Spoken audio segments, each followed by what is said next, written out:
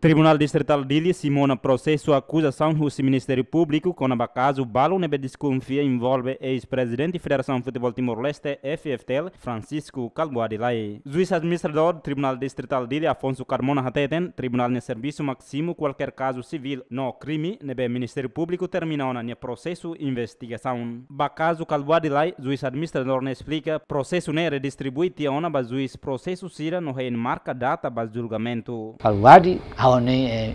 imaten antes imaten Ministério Público hato o tema tribunal e processo de eh, halo distribuição tiona e nia processo se lá hela ao husu ba todo acompanha acompanha acompanha to fim para no fim tribunal decide lá bele sai preocupação é manhã lale jadi desde ao ao ao foto que eles kata o nha colher né ba o né público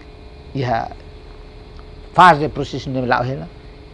se bele cara acompanha acompanha. To decisão ne para é é lá bele halin kutu kutu to hotu ku público mas hatene na decisão makanya absolve a condena ita ne